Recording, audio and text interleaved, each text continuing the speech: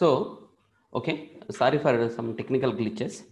Load frequency controller with economic dispatch control. So, if you could recollect, now suppose I think uh, recently we solved one problem. We have taken two generators. One is, sorry.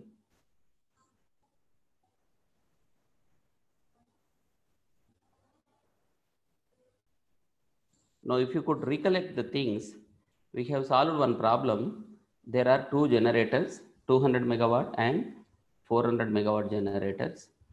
And this is having 4 percentage droop. This is having 5 percentage of droop. So if this particular generator one with 200 megawatt capacity and 4 percentage droop and G2 is second generator with 400 megawatt capacity, 5 percentage droop. Now the problem is suppose if the total load is 600 megawatt, if the total demand in the plant is 600 megawatt, how this 600 megawatt it will be distributed between the G1 generator and G2 generator. Recently we solved this problem. Now I hope, I think uh, G1 is, is going to share 231 megawatt and this is some 369 megawatts. So actually that first G1 generators, what is the capacity of this G1 generator? 200 megawatts. What is the capacity of G2 generator? 400 megawatts. Now, how the 600 megawatt load is going to share between G1 generator? That is G1 generator, this G1 generator is going to take 231 megawatt against 200 megawatt capacity. Actually, the capacity of G1 generator is just 200. But now based on this drooping characteristics, 4% and 5%, which are not equal in the magnitude, this G1 generator, instead of maximum 200 megawatt, it is going to share or it is going to take 231 megawatts. It means this generator is completely overloaded in the nature. So coming to the second generator, actually the capacity of this is 400 megawatts. Now how much it is going to take 369 megawatts. So 400 megawatt till 400 megawatt or up to 400 megawatt, the second generator is ready to take the loads. But how much it is taking? Just 369. So what do you mean by this? This is nothing but this particular generator is underloaded in the nature. So this G1 generator is overloaded, G2 generator is underloaded. So now same problem that is 200 megawatts and 400 megawatts G1 generator, G1 and G2 generators. If the drooping characteristics are same in the magnitude, if both are 4 percentage only, then how the 600 megawatt load is going to sh uh, shared by the above mentioned G1, G2 means G1 is going to take 200 megawatt and G2 is going to take 400 megawatts. So now by solving this particular problem, by solving this particular problem, only the difference is if the droop characteristics are not the same. Now this is 4 percentage of G1, 5 percentage is of G2. If the droop characteristics are not same in the magnitude, then one of the generator may gets overloaded, one of the generator may gets underloaded. This is the now is this uh, this type of situation is suggestible for the healthiness of the power, uh, power system? No, because now underloaded means this generator uh, may not suffer a lot, but overloaded means this generator will suffer a lot. Now overloaded means the proportional amount of that excess amount of 31 megawatt load, that 31 megawatt corresponding to that 31 megawatt. Now too much temperature will be generated. If the temperature is beyond the acceptable limits by the insulation, now there may be a threat to the insulation and overall, overall there may be a threat to the machine itself. So that's why now overloaded means this condition is not at all, not at all advisable. So even not immediately at the same instant, but now after a few minutes or at least after a few hours, now the generator one may gets damaged. Now if the generator one gets damaged means now who will take care of the 600 megawatt load? So ultimately that will be the uh, that will be placed at G2 only because there is no other option. If G1 is immediately not isolated at, at the point where immediately that um, G1 uh, generator gets damaged, then 600 megawatt, it will be absorbed by the G2.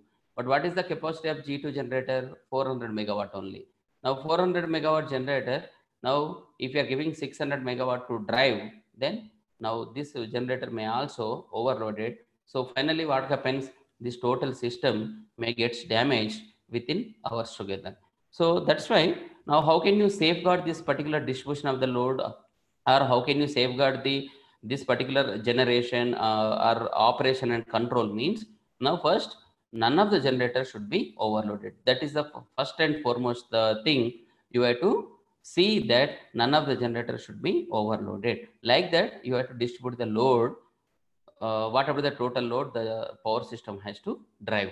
So if you if you are eliminating this overloading condition from the G1 generator, so now this G1 and G2 combinedly now will run or will take care of this sectional amount of load.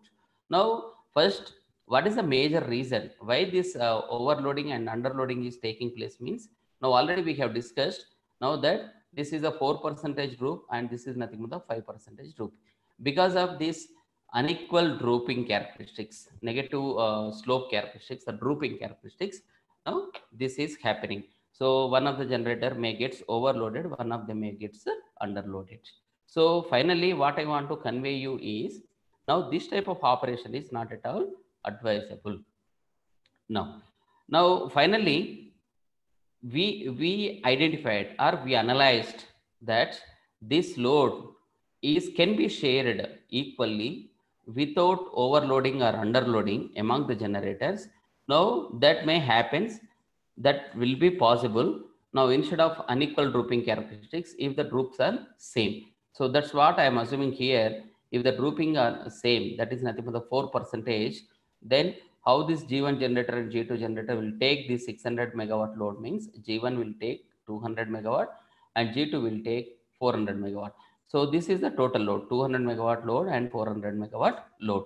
So if you could compare this case 1 and case 2, now finally the reason why this overloading or underloading is taking place means because of are based on the droop slope of that particular uh, frequency versus the drooping characteristics are again I am uh, recollecting.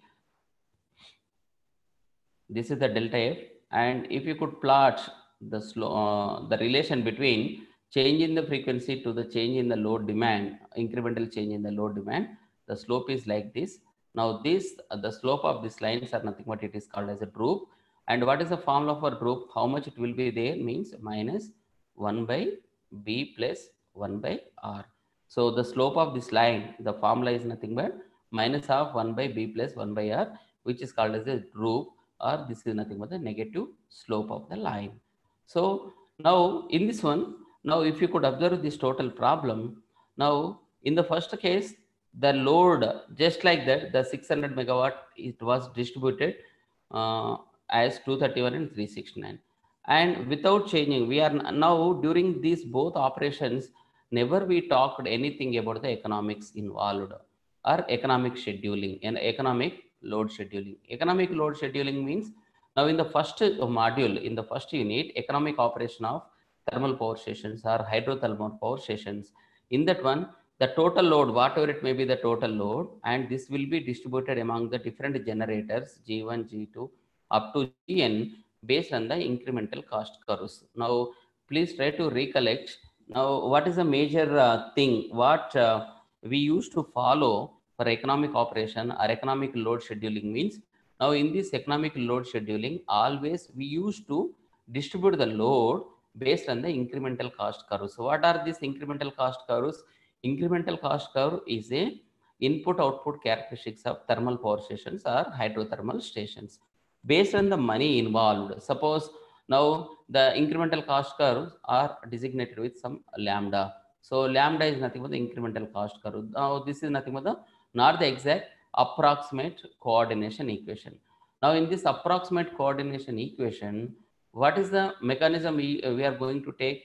Now for IC1, suppose if the generator 1 is nothing but now uh, generally for every generator this will be provided and the nameplate itself uh, you can find the incremental cost curves or cost curve itself directly if it uh, if the cost curve is given then you differentiate that uh, cost curve with respect to the respective real power generation you will get the incremental cost curve similarly suppose if there are two generators are there that may be 0.2 pg2 plus 40 is there like that incremental cost curves it will be supplied by the uh, generating stations or generator itself now based on these generating cost curves or incremental cost curves we are going to distribute the load between the various amount of generators what is the basic basic logic here means now suppose if the first generator is um, active then whatever the cost? How much rupees per megawatt hour you are going to spend? Now now instead of g1 if the g2 is uh, turned on then again you have to calculate whatever the rupees per megawatt hour. Now this will be the procedure for the remaining generators uh, even. Now after calculating this you have to compare the magnitude of this one and this one. Suppose now this is x and this is y. Now which one is uh, lower one? Suppose if x is very very smaller than this y then generally people will turn on g1 instead of g2 now this will holds good till x is equal to y. Suppose if x is greater than y then priority will be given to the second generator. So finally who will play the critical role here in the distributing of the load or in the scheduling of the load means economics. So that's that is nothing but economic scheduling of or economic schedule of the total load available uh, for the total number of generators. In this one now approximate or exact uh, so not exact coordination equation is nothing but we used to select the coordination equation which is nothing but lambda is equal to incremental cost ic now uh, whatever this ic now ics will be provided by the generating stations itself so ic1 is equal to so and so ic2 is equal to, now i have taken two uh, typical examples. So ic1 is equal to this ic2 is equal to this.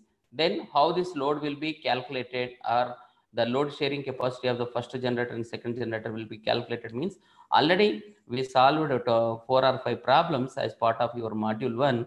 Please try to recollect. So actually uh, the load it will be distributed in the economic mode or that is nothing but the uh, optimal load scheduling or economic load scheduling. So in the economic load scheduling ultimately money is the matter. So only rupees how much you are spending for one hour per one megawatt so that is nothing but the major parameter. This will play vital role in uh, based on this only we are going to distribute the load among the available number of generators. Now this is actually procedure to distribute the loads. Now this is about the module 1 now in the module 2 now exactly this will be the example. In the module 2 how the load it will be distributed based on the frequency change. Now based on the now this is nothing but droop. What is this droop? Change in the frequency. Now change in f. Now here also this is also change in frequency. Now in the module 1 the load it will be distributed among the generators based on the economics or based on the rupees per megawatt hour. Rupees per megawatt hour means for one hour how much money you are spending to produce one unit of or one megawatt power. That is nothing but the rupees per megawatt hour. Now this is the uh, the major parameter we uh, we selected for the distributing the, uh, for distribution of the loads. So that is nothing but the economic scheduling. Now this happened and this was the procedure we adapted for sharing of the load in module 1 in the module 2 also again load may be shared among the generators. Now in this one some of the generators may be overloaded some of them may get underloaded. Uh, uh, so in this uh, uh, case what is the major parameter again? Now frequency is nothing but ultimately that is the major parameter. Now my sincere question is now are you worrying or are you going to schedule this total load uh, with respect to any economics or directly by taking the frequency changes. Now in this uh, case only by taking the frequency variations. Now in order to maintain or in order to see the frequency as a constant just like that we have distributed the loads. Now in this whole process we never discussed anything about the economic operation. But is this is the correct procedure? Is it is it the uh, outlined procedure for always? Is it suggestible? No. Now because why no means now in this one frequency also important at the same instant economic operation is also important. So you have to develop a logic or some algorithm or some procedure. Now that procedure has to give a solution by compromising the frequency and the economic operation. So that is nothing but the load frequency control and economic dispatch control. That is uh, uh, today's topic. Now here, what uh, what what are the important conclusion points from this simple slide means? Only the thing you remember now in the module one in the module one we have taken the incremental cost curves. That is nothing but the coordination equation. With the help of this coordination equation we are going to distribute the loads with uh, like rupees per megawatt hour. So what is this rupees per megawatt hour means for one hour to generate one megawatt of power how much money you are spending? So based on this only we are going to distribute the loads. Now this is the first case. Now in this one while distributing uh, the load like this are you going to worry about the frequency? No. We never talked anything about the frequency at that time. Now this is the case one. Now in the case two what it is happening? Now in the module two now based on the frequency changes those are nothing but the drooping characteristics. Now again load will be shared among the different number of generators which are available in the circuit. Now that means power system. Now here now during this case now only frequency is ultimately that is the important parameter. Now my question is anytime I have anything uh, have discussed about the economic operation? No. We never talked about the economic operation in the case 2 in the case 1 we never discussed anything about the frequency. But is the frequencies uh, as well important as economic operation? Yes exactly. Frequency is also important and economic operation is also important. So now in in today's class now we are going to develop one algorithm or one standard procedure or one logic. Now that logic will give a solution. Now it will take care of frequency as well as the economic operation of the load scheduling by uh, uh, by compromising these two parameters we are going to develop one algorithm or some technical um, uh, philosophy which will uh, which will give the complete uh, solution for both economic operation and the frequency. So that is nothing but the load frequency control and ec- economic dispatch control. So is it clear? So that is uh, just a simply introduction to today's class is it clear everybody?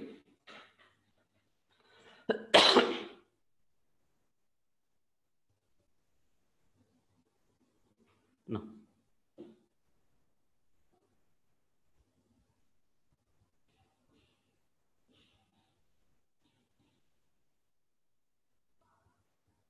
Right. So in this one now if you could observe this is nothing but the speed changer of course this is the part of the governor only. These two will be combined it will be available. And turbine and this is nothing but the generator load model so this is nothing but the completely this is you our uh, sorry except this. Now this is nothing but this is our uh, what is this? This is nothing but the isolated power system. This is the isolated power system. What is this ace this is the area control error already we have discussed about that. What is this? Delta f. Now this L- delta f signal we are going to get it from frequency sensor. Already we have discussed about that. And this integration of our ace why it came? Because delta f we are giving to a block where the block is nothing but the ki by s negative of this. Now whatever the output you are going to see output is nothing but always output is equal input into transfer function whatever the input now?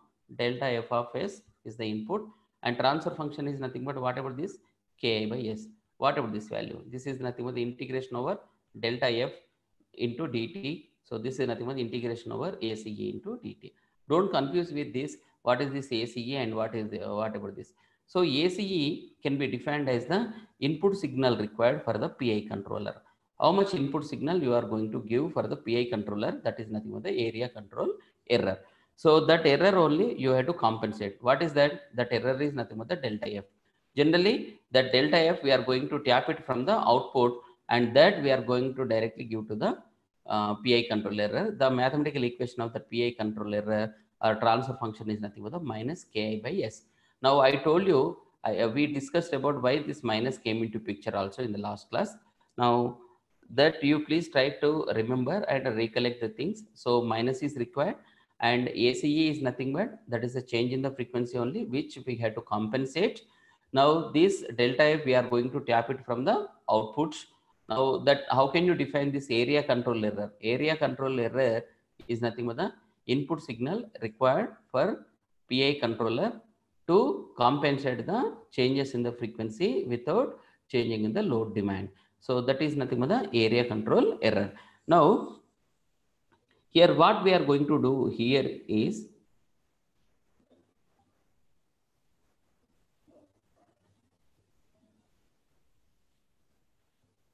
just one second.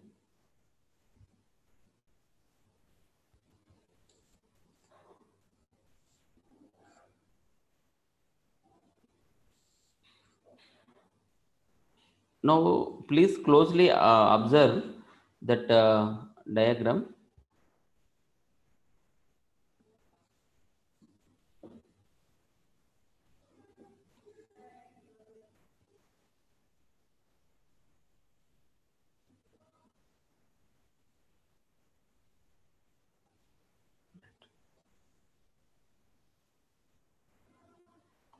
Now, in this one, only uh, the new thing uh, is speed changer we have represented separately. Speed changer uh, we have represented separately. Actually, now if we could take uh, our simple uh, single unit isolated power system is nothing but so this is um, delta pc is the signal and how we are going to take it from the output. So this is nothing but the area control error, right?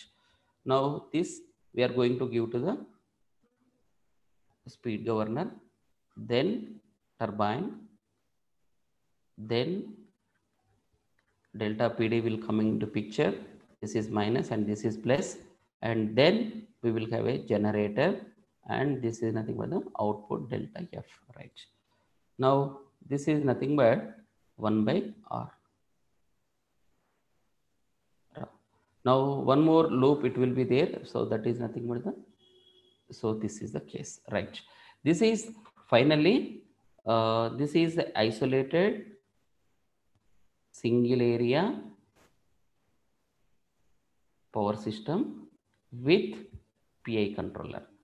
Now already PI controller was embedded here. So this is nothing but this is the PI controller, right? Now in this one, so uh, what are the how many parameters you have to do uh, compensate? One is the frequency correction you have to do, and next one is nothing but the economic operation. So this economic operation already in this loop, uh, in this particular loop, frequency is nothing but the perfectly compensated. And with this PI controller, what happens? Change in the frequency, we are going to adjust to be zero also, right? This we can done with the help of PI controller. It's good. Now, what about this economic operation? Now, in the economic operation means this uh, distribution of this load, it can be done with the whatever the PG desired minus PG actual. So, in the previous case, G1 generator, G2 generator, 200 megawatt, and this is the 400 megawatt. Now it is going to take 231 and this is going to take 369. Now in this case, now if you're taking this particular set, what is your PG desired? This is nothing but the PG desired. And what about the PG actual? So this is nothing but the actually this is happening. So what it might be the reason now why this to instead of 200 it is taking 231 that is immaterial here. Now uh, actually the capacity of this uh, G1 generator is nothing but the 200 megawatt because of some disturbances because of something. Now it is going to take 231 megawatt. Now what about the error here? That is the change in PG that is nothing but how much? 31 megawatt. So you have to, is this uh, 31 megawatt, if you are uh, assigning to uh, G1 generator, then whatever the cost of it, now that uh, G1 generator has to drive this 31 megawatt means now proportional to this, you, suppose if it is a thermal station, you have to go for the coal, whatever the cost of this particular coal is this 31 megawatt giving to G1 is suggestible instead of G2. This all this coming into picture. So this all this it will be addressed in the economic operation. Already we, everybody knows it. Now in the economic operation, two parameters I am going to take because now in the control system or in the control theory, error you have to generate first. That error by means of some arbitrary adjustments or some adjustments, you have to see that that error should be nullified. So how can you generate the error in terms of the economic operation means? Now, actually, what is the desired one? What is our expectation? Whatever the ceiling limit of that particular generator, how much it is assigned because of some due to internal adjustments or some external adjustments. Sometimes unknowingly, some of the generators may gets overloaded. Now, if that overloaded means immediately from there, one one some sort of error signal it has to generate. Now, that error signal I am going to generate by comparing PG desired and the PG actual. So what I'm, uh, so I am going to take one comparator here. Now this comparator is, one is PG desired and this I am going to compare with the PG actual. Now this PG desired who will assign? Now suppose if there is a big, very big control system or power system, there may be 100 number of generators or n number of generators. So we will go for the digital computers. Now in the digital computers, based on the input cost, now the capacity of G1, G2 and everything it will be feeded. So that computer or the digital, uh, the digital uh, um, block is called as the centralized or centralized EDC. So what about this centralized EDC means? Centralized economic dispatch computer centralized economic dispatch computer. Who will do this? What uh, this uh, CEDC will do? Now in the CEDC in the beginning itself, because this G1 to GN, we know what is the type of G1 generator, G2 generator up to GN generator. Now based on the input, uh, input and circumstances, length and transmission line losses, etc., etc. Now in the beginning itself, while feeding the data to CEDC, centralized economic dispatch computer, now for that the data it will be fed. Now C1 G1 generator it is there. So G1 generator the running cost is suppose 0.2 PG1 plus 20 within G1 is lies between X and Y. Like this the data it will be given to the G1. Similarly for G2 also the cost curve is so and so and the second generator or PG2 is between 0.1 megawatt to 100 megawatt like that. That inequality constraints and equality constraint are pre-specified in the central EDC. So based on these uh, limitations or that is uh, economic operation, economic uh, constraints and inequality constraints, now PG desired will be generated. Who will supply this PG desired CEDC, centralized economic dispatch computer. now this data, this PG desired data, it will, it will be compared with the PG actual. What about this PG actual? This PG actual is I am going to generate by controlling the delta f because these two are nothing but the strongly coupled, tightly coupled uh, parameters, frequency and the uh, real power generation. So this frequency and the real power generations are tightly uh, coupled means if frequency changes automatically PG also changes. If PG changes, frequency also changes. So I'm going to tap this PG from the same frequency signal. So this is nothing but the delta PG change in the frequency or this is nothing but the PG actual value. These two signals will be given to a comparator. Now the resultant one, it will be given to the speed changer. This is nothing but it will be given to the speed changer. So this is nothing but PG actual. This is nothing but the local EDC center. So local EDC center means uh, that local EDC, suppose if there are n number of generators means you can find n local EDC centers, but centralized EDC center, it will be there in the grid. Now, so this PG actual PG desired will be generated. That error signal it will be given to the speed changer. It is now in this total operation, in this total operation, only we have taken the real power generation characteristics with respect to economic operation. Now, whatever the frequency now, again, one more signal, it will be tapped from area control error. So, but now this area control error, suppose if you are directly tapping here, now this is the frequency and this is the powers. These three. Now this comparator is supplied with four signals.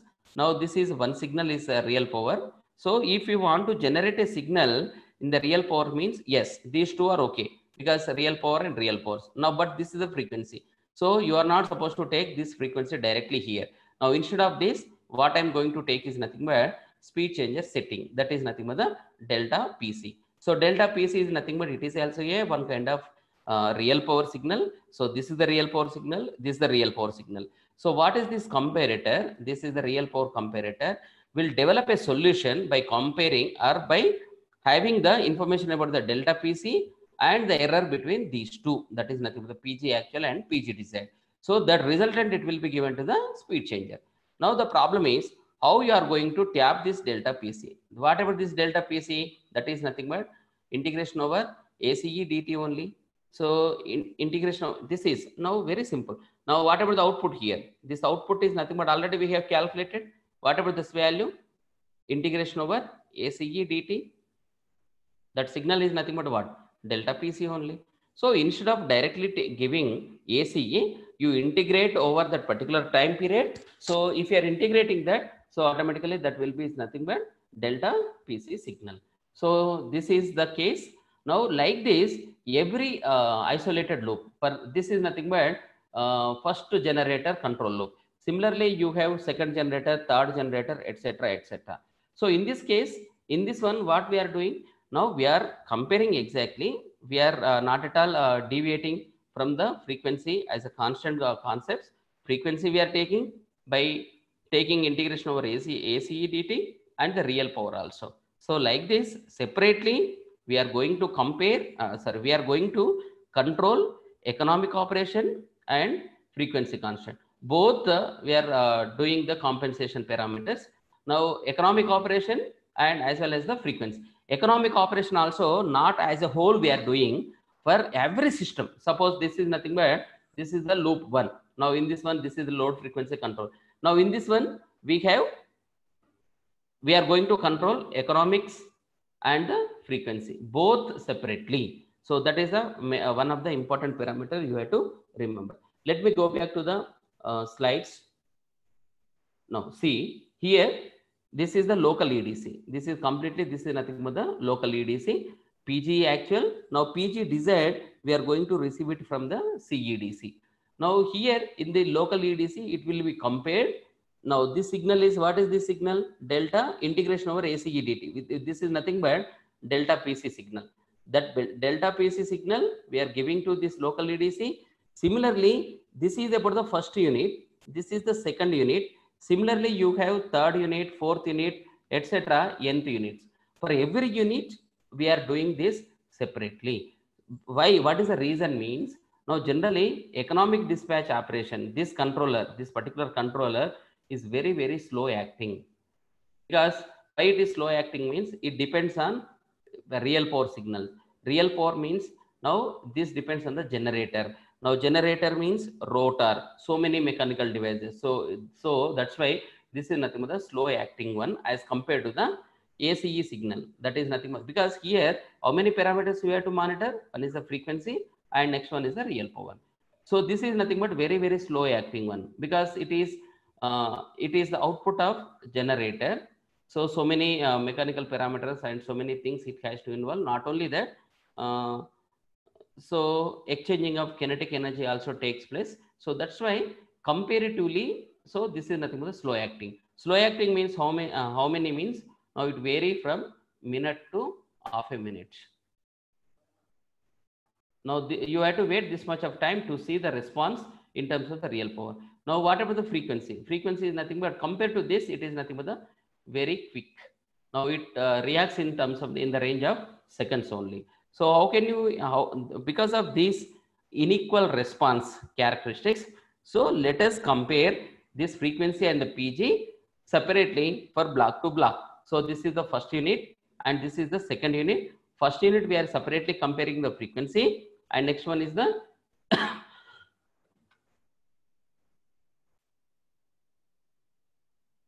So for first unit, we are tapping ACE signal and we are giving to the local EDC. This local EDC will take the three signals.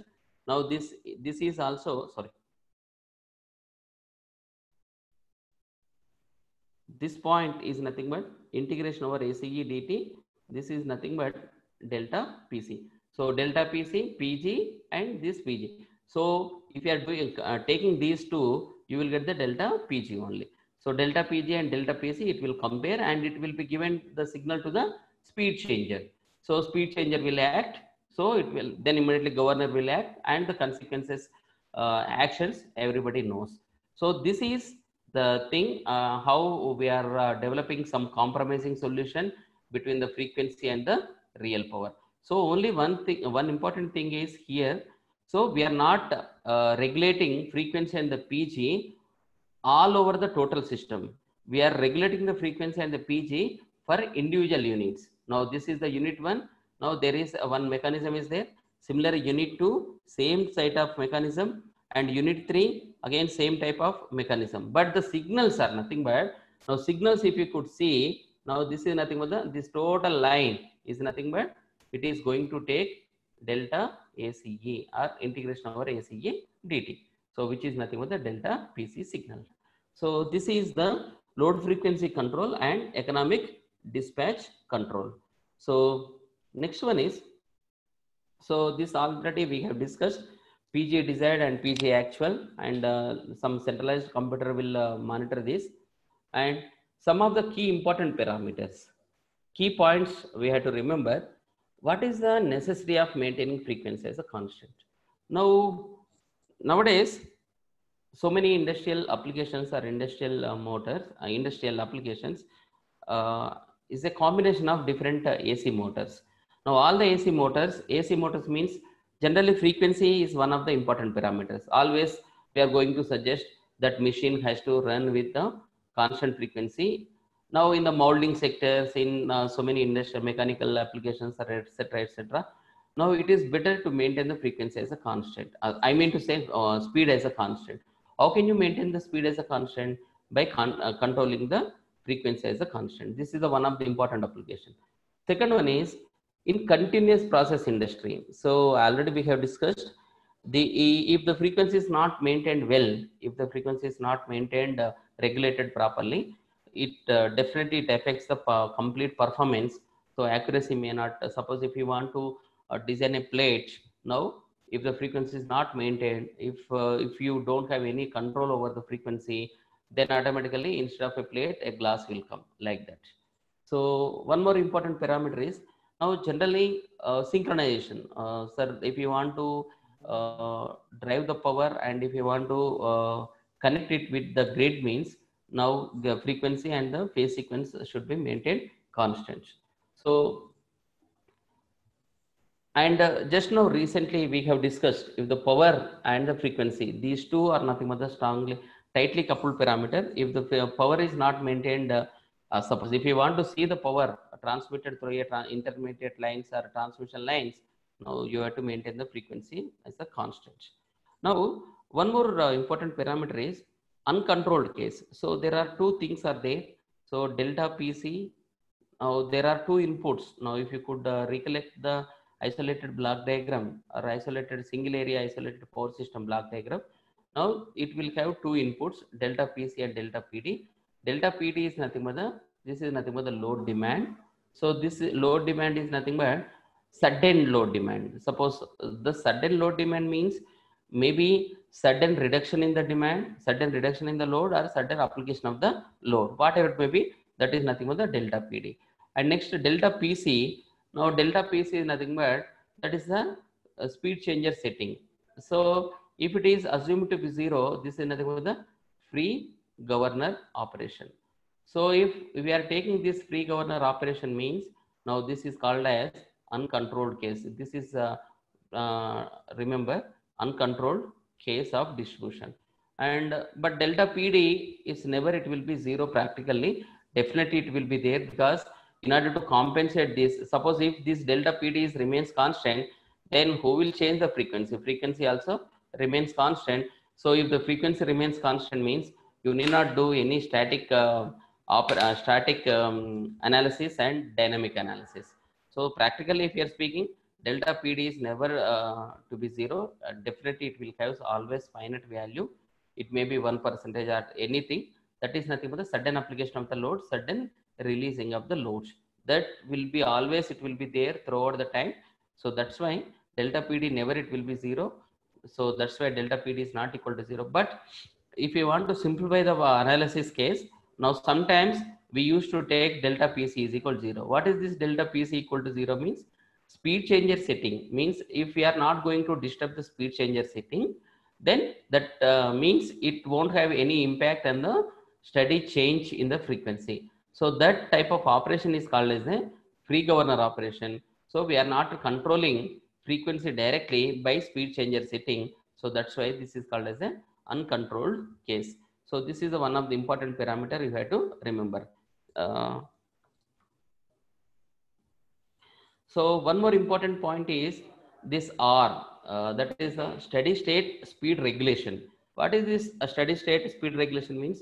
No load speed to the full load speed by the full load speed. Here, full load speed, no load speed means full load speed means suppose if the load demand is steady state uh, because if there is no dynamic uh, changes in the load then that is nothing but the n naught suppose dynamically if the load is uh, goes on changing then frequency also changes. So if the frequency changes means speed uh, speed of the generator also changes. So that is nothing but the in year. So generally r is nothing but it varies from 2 to 6 percentage of any generating unit. So this is uh, uh, speed regulation. And one more thing already we have discussed so many time control area single area. So what is this uh, control area means? This is one of the important uh, definition. So control area is possible. It it can be divided into a very large power system into sub areas or sub power systems in which all the generators are tightly coupled such that they swing in unison with change in the load or due to the speed changes setting. Because suppose if all over on the total power system if there is a change of 5 percentage 5 percentage suddenly there is a change of 5 percentage in the demand.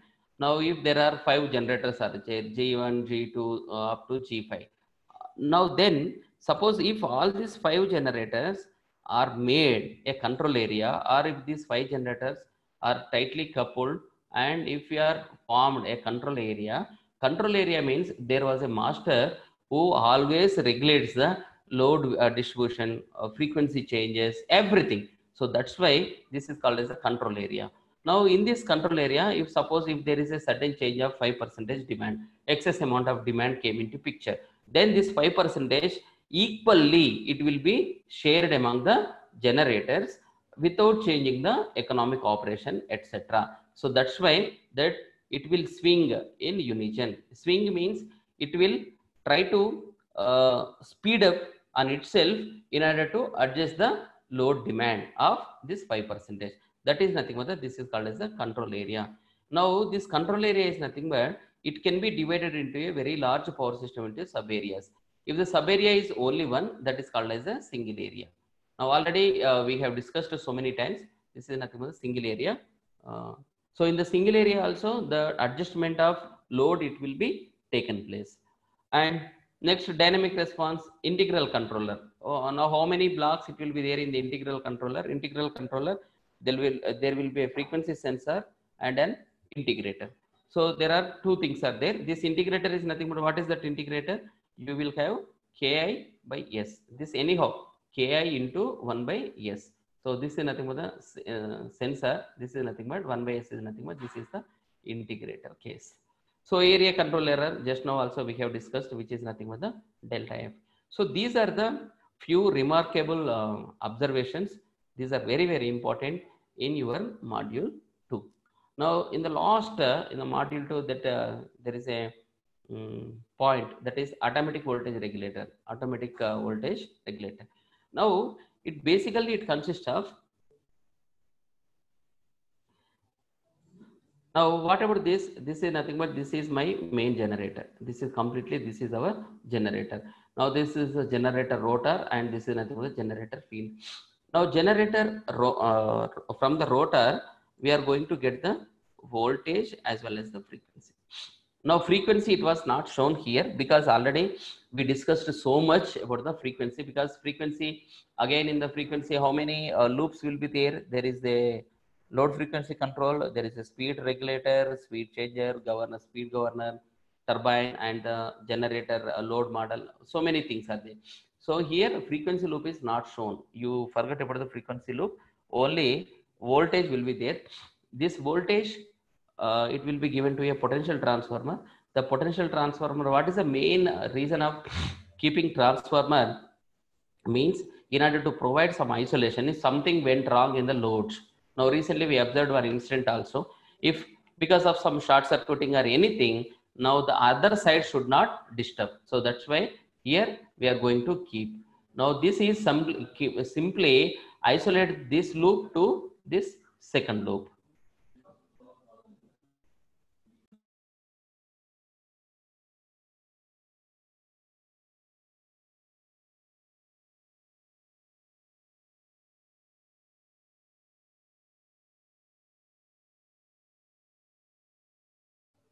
So this uh, potential transformer, uh, the purpose of this is this, and it will be given to the reference voltage. This is the reference voltage means we should know how much of voltage it, uh, it will be given. This V, V reference and VT, some error amplifier there.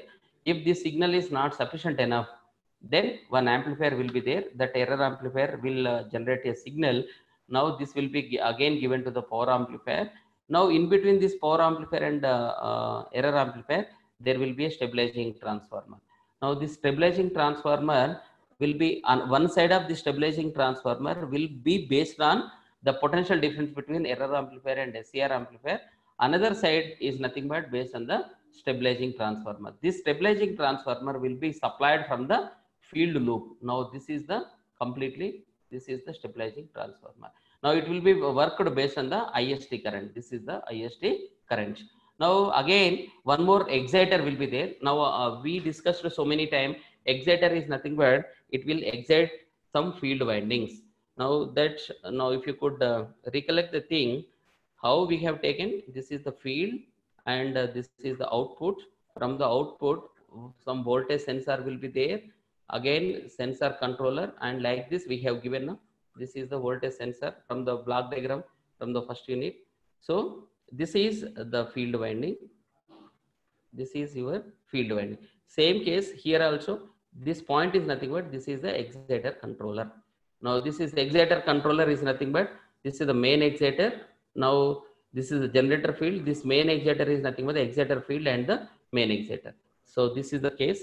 Here this block is nothing but the type 0 and uh, everybody knows what is this potential transformer differentiating device uh, SCR power amplifier so this is the stabilizing transformer is there.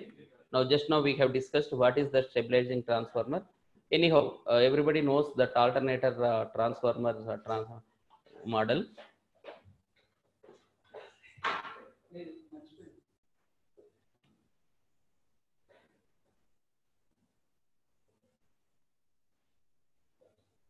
So this is one of the important one. Laplace transform uh, that for that particular field loop, you apply the Laplace transform. Then for every block, this is nothing but error amplifier. This is nothing but SCR power amplifier. This is nothing but just now we uh, this is the case. Now in the field winding, you apply the loop. There is one field is there, and this will be connected to the stabilizing transformer. This is the stabilizing transformer.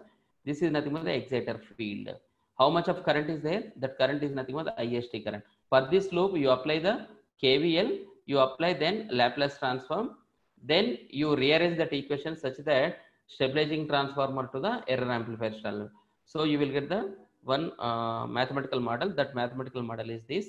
And this is just we assumed because this generator already kps by 1 plus stps this is the generator uh, uh, transfer function. Already we have derived this.